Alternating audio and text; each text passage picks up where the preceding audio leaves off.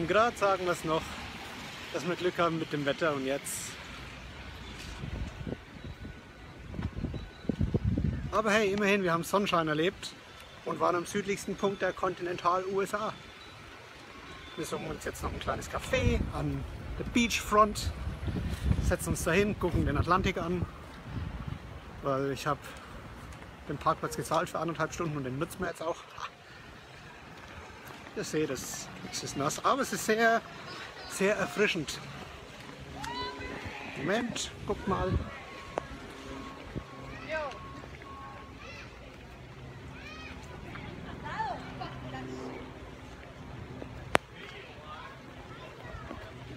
Also Key West ist super nett und super beachy, aber momentan halt auch super äh, Wetter, Re und Rainy und so.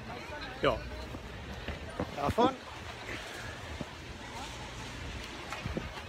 ist die Beachfront, da ist das Café, das Southernmost Café of the United States oder so, wahrscheinlich auch the most expensive one.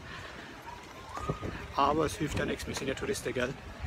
So, ich werde nass und nässer, daher off. Tschüss.